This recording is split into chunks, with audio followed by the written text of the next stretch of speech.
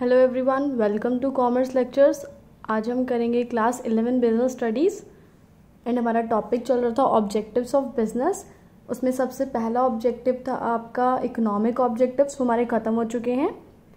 अब हम करेंगे अपना second objective which is social objectives so social objectives क्या हैं? बिज़नेस के वो हम पढ़ते हैं। सो so, सोशल से मतलब है सोसाइटी की हम यहाँ बात कर रहे हैं। So business use resources of society business जो होता है, वो हमारी सोसाइटी के रिसोर्सेज यूज़ करता है, तभी तो वो प्रोडक्शन वगैरह कुछ करता है। Earn profit by selling its product to society और वो प्रॉफिट कैसे कमाता है? अपने प्रोडक्ट सोसाइटी को बेच के। हमें ही लोगों को बेचता है, तभी जाके तो बिज़नेस को प्रॉफिट मिलता है, वो पैसे कमाता है। हम ही नहीं होंगे तो पैसे कैसे कमाएगा? आगे बढ़ते हैं। So business man must do something for society also because it can't survive for long run by ignoring society's interest तो अगर वो सोसाइटी के इंटरेस्ट को इग्नोर कर देगा सोसाइटी के बारे में ही सोचना बंद कर देगा तो क्या होगा? लॉन्ग रन तक वो सर्वाइव नहीं कर पाएगा। लोग उसके अगेंस्ट हो जाएँगे और उसका प्रोडक्ट खरीदेंगे ही नहीं। सो so, इस चीज़ की ज़रूरत है कि वो सोसाइटी के लिए भी कुछ करें। अब वो सोसाइटी के लिए क्या करें? वो हम पढ़ते हैं supply of desired quality of products society के लिए उसको क्या करना है? कि अच्छी क्वालिटी के प्रोडक्ट्स देने हैं, जब भी कस्टमर डिमांड करता है तो जो वो प्रोडक्ट्स देगा, वो अच्छी क्वालिटी के होने चाहिए। ठीक है? तो survive in long run and to maintain goodwill अगर आप उसको लंबे समय तक सर्वाइव करना है कंपटीशन में लंबे समय तक टिके रहना है, अपनी गुडविल बना के रखनी है तो क्या करना पड़ेगा? उसे क्वालिटी गुड्स प्रोवाइड करने पड़ेंगे, यानी अच्छी क्वालिटी के गुड्स ठीक है? एट रीजनेबल प्राइस और रीजनेबल प्राइस होना चाहिए, यानी ऐसा प्राइस जो वर्द हो उस चीज़ के, लोग अफोर्ड कर सकें। ठीक है? आगे हम बढ़ते हैं। अभी सेकंड पॉइंट हमारा क्या कहता है? Avoidance of unfair trade practices आपका जो बिज़नेस मैन है, उसको अनफेयर ट्रेड प्रैक्टिसेस में बिल्कुल शामिल नहीं होना है। ना ही ब्लैक मार्केटिंग करनी है, ना ही अडल्ट्रेशन करनी है, जैसे कुछ मिलावट वगैरह कर दी। ओवर चार्जिंग भी नहीं करनी है, ज़्यादा पैसे चार्ज नहीं करने हैं होर्डिंग वगैरह भी नहीं करनी है, कि जैसे करते हैं ना आपके बिजनेसमैन वगैरह बहुत सारा स्टॉक होता है, संभाल के एकदम रख लेते हैं स्टॉक बना के रख लेते हैं। फिर जब होता है ना, एकदम बहुत डिमांड हो जाती है और लोग हाई प्राइजेस भी पे होने को तैयार हो, करते हैं कि हाँ भाई, हम ज़्यादा पैसे भी दे देंगे, बस ये जो है हमें ये चीज़ मिल जाए। जैसे ज़्यादातर ये सब्ज़ी वब्जियों में भी होता है खासकर तो फिर एकदम से अपना स्टॉक निकालते हैं, जब प्राइस बढ़ जाए तो। तो वो चीज़ जो है बिजनेसमैन को ऐसे गेम्स नहीं खेलने हैं, ठीक है? Businessman should avoid these practices for earning profit profit earn करने के लिए ये सब चीज़ें बिजनेसमैन को बिल्कुल नहीं करनी है। Businessman will lose his reputation उसकी रेपुटेशन ऐसे ख़राब हो जाएगी। क्योंकि अगर आप भी सोचो, कोई प्रोडक्ट है, उसके अंदर मिलावट वगैरह आ रही है या वो बहुत ज़्यादा महँगा आ रहा है किसी दूसरे प्रोडक्ट के कंपैरिजन में, एक बार तो आप खरीद लिया आपने।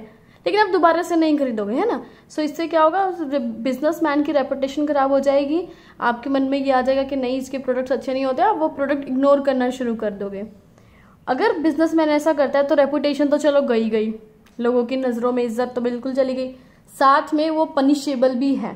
उसे फाइन लग सकता है, पैसे भरने पड़ सकते हैं इम्प्रिजनमेंट जेल हो सकती है, या फिर ये चीज़ें दोनों ही हो सकती है उसे। अगर वो अनफेयर ट्रेड प्रैक्टिसेस में पार्टिसिपेट करता है तो। Let's move to third point third point is employment generation अभी बिज़नेस मैन को क्या करना चाहिए? एम्प्लॉयमेंट अपॉर्चुनिटीज़ क्रिएट करनी चाहिए। सो अनएम्प्लॉयमेंट यानी बेरोज़गारी। प्रॉब्लम ऑफ़ एवरी सोसाइटी हर सोसाइटी की प्रॉब्लम क्या है? अनएम्प्लॉयमेंट बहुत सारे ऐसे लोग आपको जगह जगह पा जाएँगे जिनके पास कोई जॉब नहीं है। So business man must create employment opportunities so business man को क्या करना चाहिए? ज़्यादा से ज़्यादा एम्प्लॉयमेंट अपॉर्चुनिटीज़ लानी चाहिए। Must give special consideration to handicap disabled and poor people handicap वगैरह लोग जो होते हैं और जो लोग गरीब हैं, उन सब लोगों को भी जो है स्पेशल कंसिड्रेशन देना चाहिए। उन लोगों को भी मतलब अपॉर्चुनिटी देनी चाहिए कि भाई तुम आओ और तुम भी अप्लाई करो। ठीक है? This will also improve public image of businessman इससे क्या होगा? जो आपका बिजनेसमैन होगा, उसकी पब्लिक इमेज भी इम्प्रूव हो जाएगी। सबको लगेगा हाँ बहुत अच्छा बिजनेसमैन है। ये सबको ही जॉब अपॉर्चुनिटी इक्वल अपॉर्चुनिटी देता है। ये नहीं कि सिर्फ़ उन लोगों को अपॉर्चुनिटी देता है जो मतलब फाइनेंशियली ठीक है, बहुत ज़्यादा एक्सपीरियंसड है। उनको भी अपॉर्चुनिटी देता है जो डिसेबल्ड है पुअर पीपल हैं, उनको भी एनकरेज करता है कि हाँ भाई, आओ तुम हमारी कंपनी में और अप्लाई करो जॉब के लिए। Fourth point is social service and community service businessman को सोशल सर्विसेज़ में भी अपने आप को ज्वाइन करना चाहिए। ठीक है large business organisation can undertake various projects of community services जो बहुत बड़ी बड़ी बिज़नेस फर्म होती है, वो इजिली जो है कम्युनिटी सर्विसेज़ में काफ़ी हेल्प कर सकते हैं। कैसे?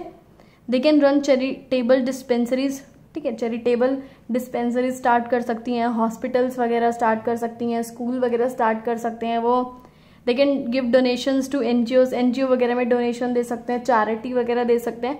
इन सबसे क्या होगा? They all increase the reputation of company company की रेपुटेशन जो है इन सबसे काफ़ी बढ़ जाएगी। अभी हम चढ़ते हैं फिफ्थ और लास्ट पॉइंट पर।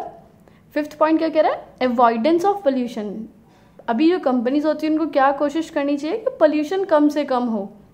Industries throw their waste in rivers lakes etcetera industries क्या करती है? अपना जितना भी वेस्ट होता है, वो रिवर्स वगैरह में ही छोड़ती हैं, है ना? और जो स्मोक वगैरह आता है उनकी चिमनी से, वो सब क्या होता है? एनवायरमेंट को पोल्यूट करता है। बहुत ज़्यादा पोल्यूशन फैलाता है। So it is a moral duty of business man to add environment friendly techniques of production तो ये बिज़नेस मैन की रिस्पॉन्सिबिलिटी है। एंड अपना जितना भी जो वेस्ट मटेरियल है, वो इस तरह से ड्रेन करे, ताकि जो एनवायरमेंट है, वो पोल्यूट ना हो एनवायरमेंट को कोई भी नुकसान ना हो। Thanks for watching this video. Please like, share and subscribe.